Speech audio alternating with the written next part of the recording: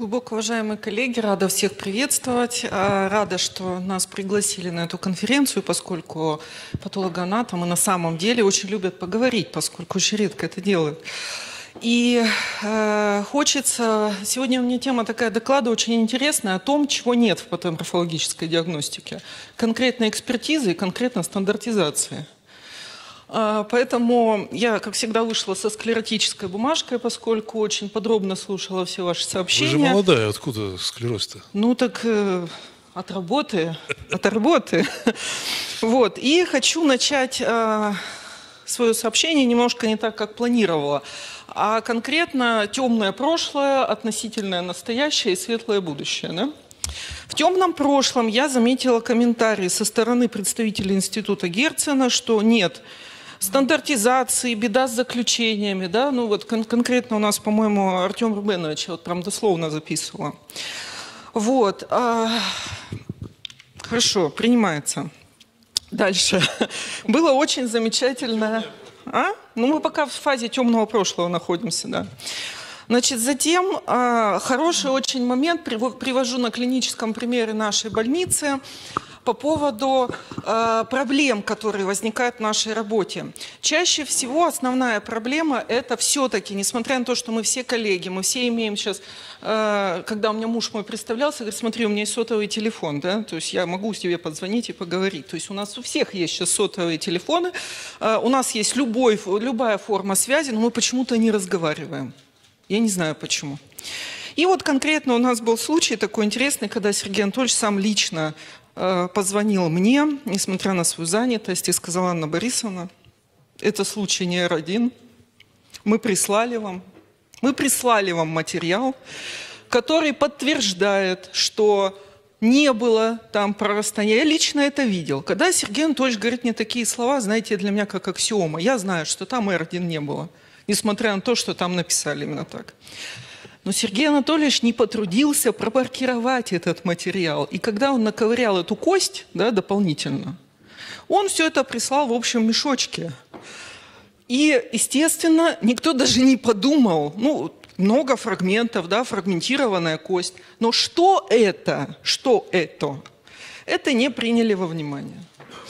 Поэтому, вот, понимаете, вопрос, который кардинально сказывается на судьбе больного – и которые, несмотря на наши регалии, да, на наши э, интеллектуальные позывы, и несмотря на то, что ну, как бы мы стараемся все-таки помогать всем, да, вот из-за какой-то тряпочки, да, из-за какого-то немаркированной там бумажки, который мог настолько повлиять на судьбу больного.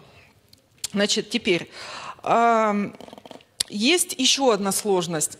Когда у нас ходят пациенты, сейчас какая возникла проблема, она давно уже была, ну, сейчас обострилась. У нас пациенты ходят по всем нашим центрам онкологическим. И когда они доходят, это тоже сегодня, по-моему, Лили Павловна звучала в докладе, когда они ходят по разным-разным центрам и в итоге оказываются где-то, ситуация называется постфактум. Постфактум, ну вы сами прекрасно понимаете, довольно легко ставить заключение и ставить диагнозы. А, но, к сожалению, мы оказываемся довольно часто в сложной ситуации первичной диагностики практически каждый день. И, наверное, если бы вы, вернее, вы настолько, как бы нас, ну, э, мы настолько стараемся соответствовать вашим клиническим запросам, что каждый день сейчас в рутинной практике становится все сложнее и сложнее. Буквально, может быть, там, ну, 5-7 лет назад, если бы спросили, есть проблемы э, в диагностике плоскоклеточного рака опухоли головы и шеи конкретно, да сказали бы, да нет никаких проблем в этой диагностике. Ну, плоскоклеточные и плоскоклеточные. Ну, на сегодняшний день нет, во-первых. Э, диагностируются малые опухоли, диагностируются и берутся биопсии в большем количестве на ранних стадиях. Это конкретно карцинома инситу. Учитывая, что все-таки э, стараются, вы стараетесь взять поверхностно, строма не попадает, и вот эти инвазивные комплексы, мы их не видим, пишем инситу или не пишем инситу, вообще пишем подозрения, как вот в случае с тем пациентом изначально было. Э, это все приводит к тому, что пациент начинает ходить из клиники в клинику, из клиники в клинику и приходит уже с колоченными метастазами. И казалось бы, ну вот оно лежит на поверхности, казалось бы, да? А вот не лежит на поверхности. И вот возникают такие случаи, тяжелые довольно. Но э, в нашем тревожном настоящем, с отсутствием каких-либо стандартов, у нас есть впереди светлое будущее. Во-первых, замечательный проект по централизации патологоанатомических отделений, э, где э, ну, на сегодняшний день в Москве, куда поступает весь онкологический материал. И конкретно, учитывая, что вот в нашей клинике Сергей Анатольевич является ведущим специалистом в этом направлении, у нас поступает большое количество этого материала, ну, наверное, с половины, да, ну, ну мне кажется, по крайней ну, с третьей, может быть, Москвы, но очень-очень много, очень много. Вот, и на сегодняшний день создаются стандартные операционные процедуры на уровне Департамента здравоохранения. Э, будут создаваться стандартизованные заключения в виде чек-листов. Э, буквально это вот ближайшие месяцы, я бы сказала, даже будет происходить. Это будет внедряться в шаблоны.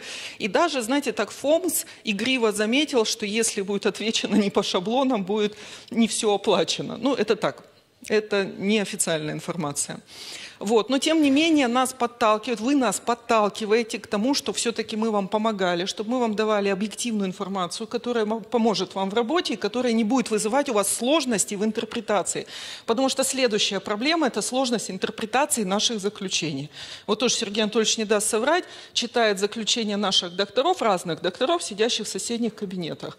И даже иногда переставленных там несколько абзацев у вас э, иногда может сбить э, получение верной достоверной информации, поскольку там написали в одном направлении, потом в другом направлении.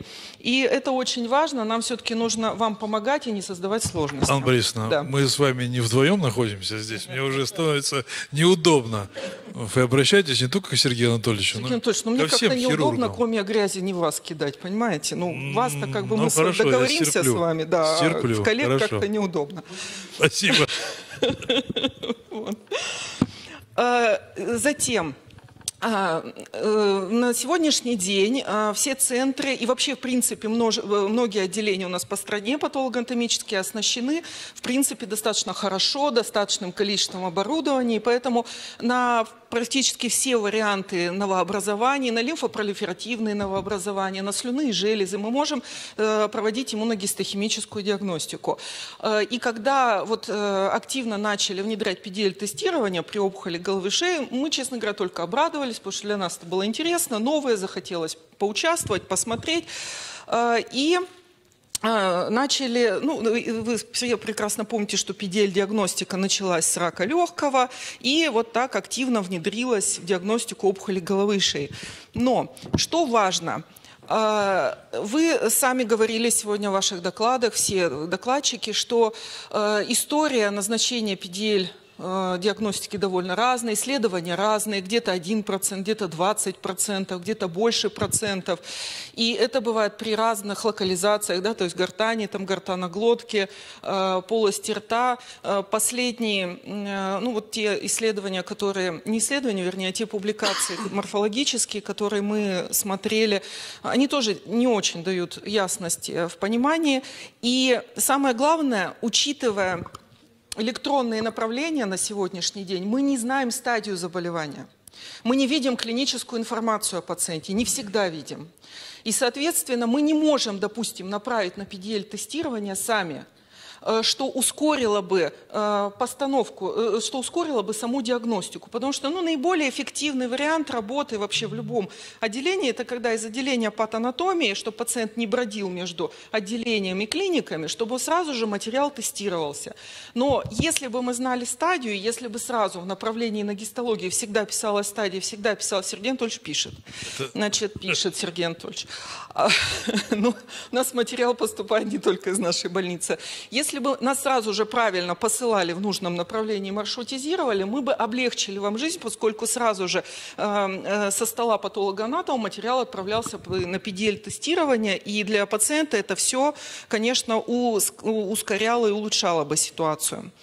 Э, для опухоли головы и шеи наиболее сейчас приемлемый, одобрен э, тест антитела разные есть на PDL, тест конкретно 2023 FarmDX, э, компании DACA, Agilent на сегодняшний день.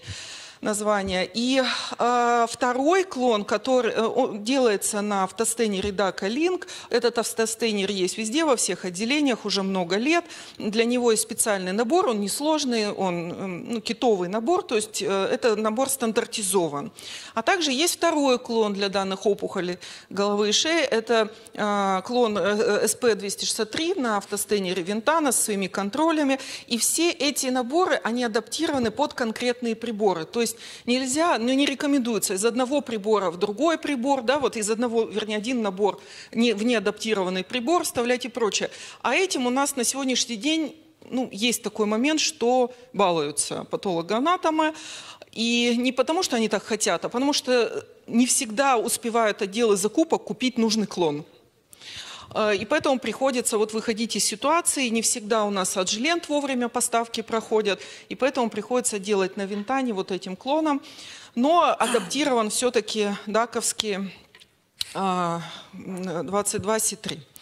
PDL э, тестирование э, применяется для различных, еще раз говорю, нозологических форм и конкретно при плоскоклеточных раках опухоли головы и шеи э, мы э, ну, наиболее, у нас руки наиболее развязаны, поскольку это очень благодарный материал, это обычно достаточная клеточность, это обычно хороший фрагмент, и нам очень хорошо, интересно и довольно просто проводить это тестирование. Но что вот у нас в светлом нашем будущем которые мы, наконец, плавно перешли, что у нас сейчас все-таки изменится и что поможет нам с вами в дальнейшей работе. Этот вот приказ о централизации патологоанатомических отделений, о которых я уже сказала. Э, и э, суть его в чем? Что э, лечащий врач любого учреждения, находящего в структуре Департамента здравоохранения Москвы, может сформировать в ИМИАСе направление, и этот материал поступит в централизованное патологоанатомическое отделение, в то самое, которое вы выбрали в ИМИАСе, сформировав направление. Система вот эта LabForce, эм, в ней будет сформирована, это адаптированная патологоанатомическая платформа, которая, которая будет сформирован уже ответ, и вам будет отправлен отправлен обратно ответ э, в ваше лечебное учреждение из централизованного, патолог, централизованного патологоанатомического. Но вот посмотрите, если мы с вами не всегда получаем информацию, сидя в соседних корпусах, вот этот момент разности учреждений, он добавляет нам разорванности. Поэтому, э, если это возможно, мы просим и призываем всех, пожалуйста, сообщайте нам клиническую информацию. Сейчас очень сложно в направление внести ее. Прилагайте выписной эпикриз или то, что для вас важно. Поверьте, мы все читаем, что вы нам присылаете. Это для нас важно, и мы должны понимать, что вы хотите от нас получить. Если мы получим э, внятный вопрос, мы, поверьте, постараемся дать вам внятный ответ.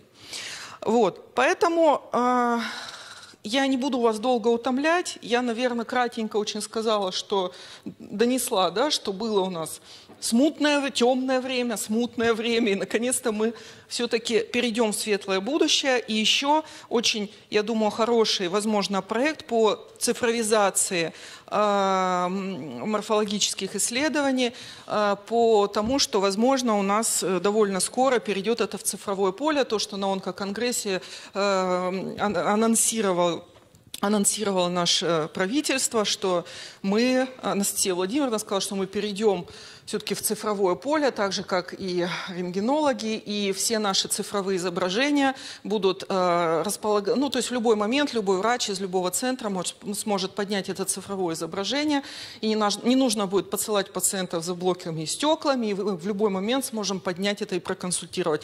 Вот я очень надеюсь на это наше светлое будущее, потому что оно позволит максимально эффективно э, помогать вам вашей нелегкой, тяжелой работе. Спасибо за внимание.